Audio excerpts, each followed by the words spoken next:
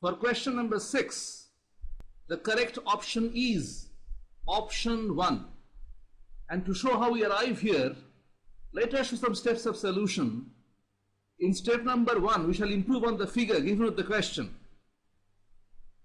So here is this figure, little elaborate. As you can see that, that the rod is rotating in the XZ plane about a horizontal axis to this pivot. Follow my cursor. This axis is pointing into the screen normally. Okay? And it is rotating clockwise about that axis, that is the pivot. And the question is to find out the angular acceleration of this rod when it makes an angle of theta with its initial vertical position. So I have shown here the initial position of the rod in dotted lines. Final position is shown little solid figure here. This angle is theta. This is the XZ plane. And let me take two points. One point is the pivot about which the rod rotates. Another point is the center of gravity of the rod through which the force of gravity is acting vertically downwards. So as they have said that there is no friction given by the pivot,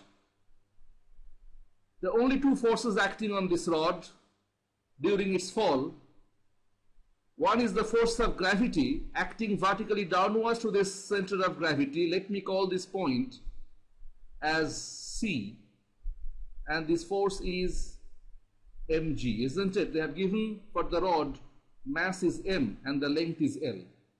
In the absence of friction, the only contact force is normal force acting vertically upwards through the pivot. This pivot is named P and this is the normal force.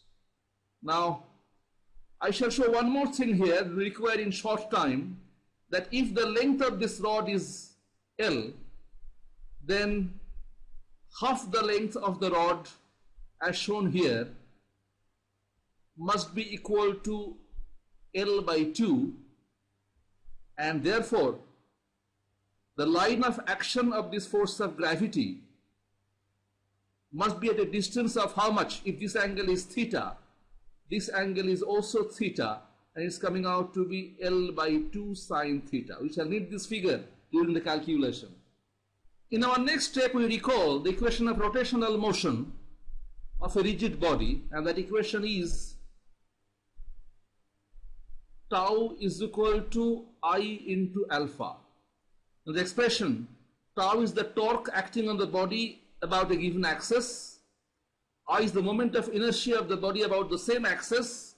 Alpha is the angular acceleration of the body. So in this case, since the rod is rotating about a horizontal axis passing through the pivot P, we can write down that tau P, that is the torque about the point P, must be equal to IP, moment of inertia of the rod about the point P into alpha. Let me call this as equation number one for future reference. You understand here, when I write torque about the point P, I mean that the torque about a horizontal axis passing through P and that pierces the screen in front of you normally. Understand that.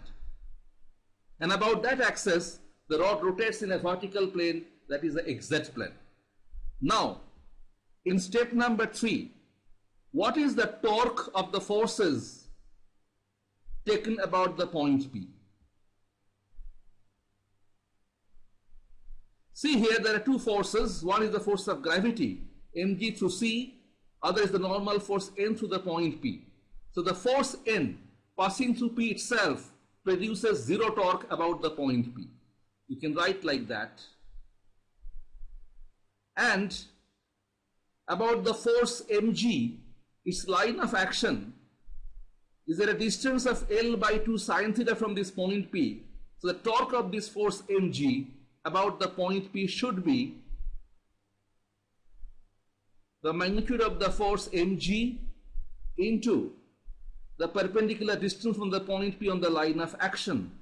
Is already shown to be L by 2 sine theta. This is coming out to be m into g into L by 2 sine theta. You understand here, you can show vectorially this torque is pointing into the screen normally and producing a clockwise rotational effect on the rod. Just verify this.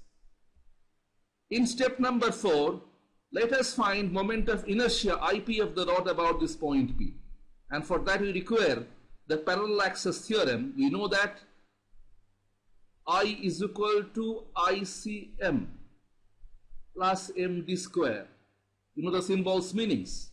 So in this case, we can write down for the rod moment of inertia about the point P that is at one edge of the rod that is moment of inertia through the center of mass that is point C plus m into d square.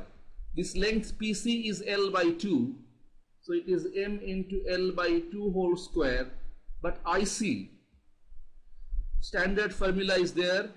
Uniform rod that is ml square by 12 plus ml square by 4 that is ml square by 3 i'm sure many students remember this formula straight away. Ml square by 3 about one end of the rod.